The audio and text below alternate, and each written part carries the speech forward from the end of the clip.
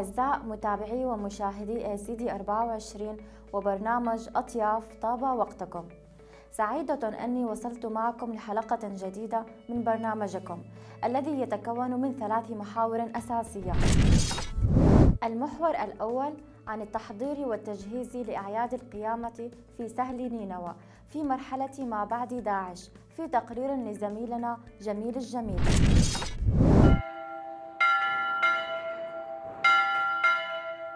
بدأ مسيحيو نينوى بالتحضير والتجهيز لأعياد القيامة المجيدة بعد مرحلة داعش بعزيمة وإصرار كبيرين ليواجهوا ويزيلوا آثار الحروب والخراب. حابب أهني جميع المسيحيين خاصة والعراقيين عامة بقيام آه، بعيد القيامة المجيد وحابب أقول لهم أنه لا زال أكو إصرار إقبال المسيحيين خاصة في تمسكوا بهاي الأرض. صحيح إحنا واجهنا الكثير من المآزق والمآسي ولكن لا زال أنا واثق وملاحظ هذا الشيء لا زال الشباب إذ كانوا عوائل أو شباب إحنا المستقبل العراق. لذلك إحنا ثابتين إن شاء الله. وكل عام وأنتم بألف ألف ألف خير. إحنا هسه بزمن الصوم طبعا آه، هذا الصوم يكون خمسين يوم آه، اللي يسبق عيد القيامة. آه، الناس بهذا الوقت تبدي تحضر للعيد اللي يروح على الكنيسة على مود القداس اللي يروح الجمعة لدرب الصليب على مود يصلون أكو اللي يروحون يشترون هدوم. هواية أكو تحضيرات قبل هذا العيد تصير. هسه بعد فترة راح يجينا عيد مال قرياقوس. كل أسبوع يكون أكو عيد. بعدها راح يجي عيد السعانين واللي بعده راح يجينا أسبوع الآلام. طبعا الناس تبدي بهذا الأسبوع تحضر على مود العيد يشترون بيض ويصبغون البيض اللي هي عادات وتقاليد يسووها هنا قبل العيد ويسوون كليكة وبالعيد يحتفلون يروحون يزورون أقاربهم وهيجي شغلات. فقد المسيحيون أضعاف عددهم الحالي وأصبحت بعض الكنائس تشح بالمصلين نتيجة السفر إلى خارج العراق. أنا دكتور ربيع آه، طبيب بيطري من آه، سكنة آه، بغديدة قضاء الحمدانية. عدنا بعد داعش لنرجع ونثبت للعالم بأنه إحنا باقين في أرضنا. نرجع نكمل مسيرة الأعياد التي بدأها آباؤنا وأجدادنا ونحن ننقل رسالة بأننا كنا أخوة مع الشبك عربا وسنة إسلاما عربا وسنة وسنة مع الأخوة اليزيديين كلنا أخوة. آه، يدا بيد سنبني مناطقنا سنبني بلدنا. آه، رغم كل التحديات ورغم كل المصاعب ولكننا هذه رسالة ننقلها. نحن باقون وسنكمل المسير الذي بدأه ورسمه أجدادنا وآباؤنا. إذا هرمخ قامي ثيلة قعينا له مريم دثي شبثة حاشا. أول شي بداية مر قرياقوس بعدين شبثة حاشا مباثر منح بعدين كثي جمعة الآلام. بدل عيد خر داث إذا مباثر منح إذا شب شب يعني خوشابة دقيمتا ودقرت المشيحة وبعدين سبت النور وخوشابة كاو خوشابة إذا كاو. وآذي لا هرمخ قاميثة لا من دي يعني. لا لا فرق من دي عن قاميثة إذا واثة نفس السنة صومة نفس حيلة. ناشي نفس السنة مقلل ناشي بس نفس السنة وإذا لم غيرت شو من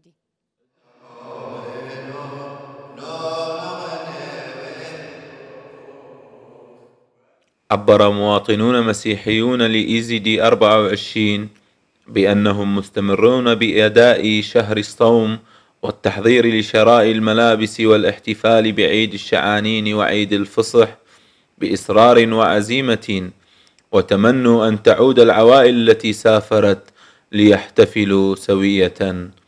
جميل الجميل إيزي دي 24 بغدادة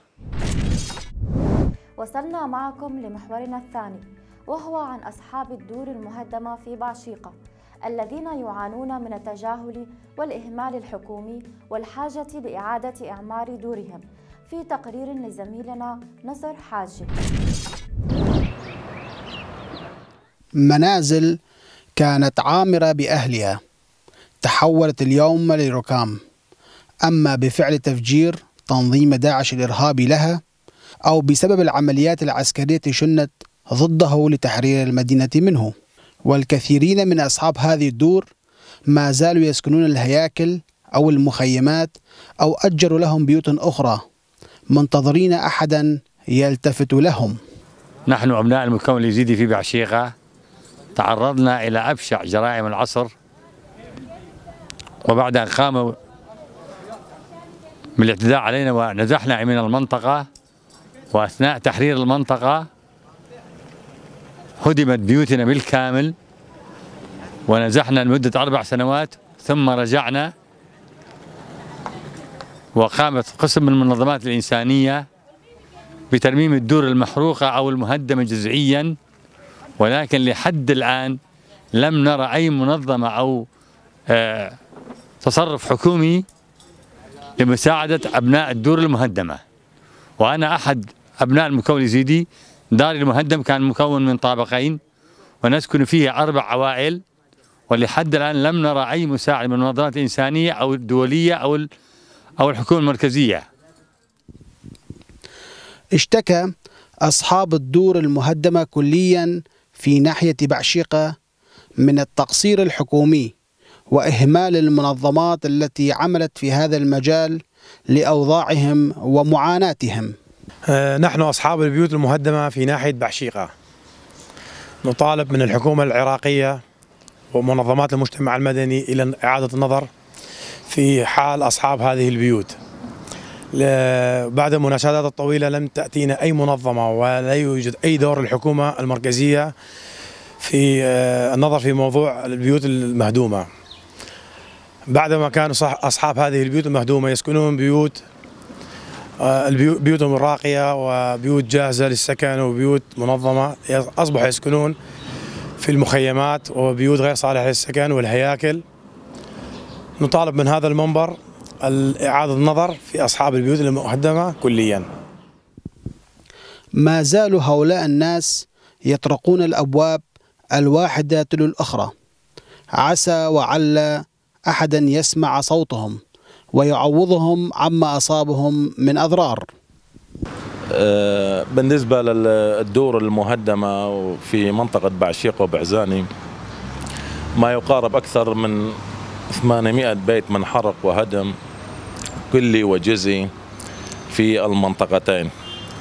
وناشدنا المنظمات منظمات المجتمع المدني والحكومة المركزية وحكومة الإقليم كانت تعمل المنظمات. يعني جاءتنا منظمات جاءت عدة منظمات. يعني تقريبا ما كان بالعمل المطلوب. يعني شغلات حرق بسيطة تعديل هدم جزئي بسيط. أما الدور المهدمة كامل ما حد لحد الآن ولا تم السؤال عليها. ولا إعمار ولا تكليف أي شخص حتى حتى يعني استكثروا علينا زيارة البيوت المهدمة يعني. ولا جانا أي شيء ولا منظمة ولا أي شيء يعني. الكثيرين منهم هم من أصحاب الدخل المحدود وليس بمقدورهم بناء دورهم مرة أخرى. لذا اضطروا بالبقاء في أماكن نزوحهم وعدم العودة مرة أخرى لمدينتهم. طبيعة الحال بعد تحرير آه، منطقة بعشيقة زارنا كثير من المنظمات الدولية والمحلية. الهدف منه هو إعادة البنية التحتية للناحية. وقسموا البنية التحتية إلى ثلاثة أقسام A و B و C. الأي الدور المهدمة كليا وB الدور المحروقة. وسي الدور المهدمة جزئيا. آه، قامت المنظمات ب بإعادة الحياة إلى الدور المهدمة آه، المحروقة والمهدمة جزئيا. أما الدور المهدمة بشكل كلي ولحد الآن لم يصلنا أي منظمة آه، من المنظمات الدولية ولا المنظمات المحلية لإعادة بناء هذه الدور.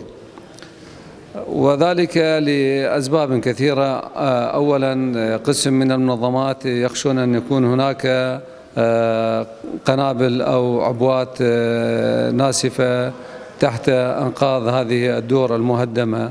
وبدورنا نحن كحكومة محلية ومديرية ناحية بعشيقة خاطبنا بكتب رسمية إلى مجلس محافظة نينوى وإلى محافظة نينوى وإلى كل الجهات ذات العلاقة وإلى المنظمات الدولية العاملة في منطقة بعشيقة وسهل نينوى بالتحديد للكشف.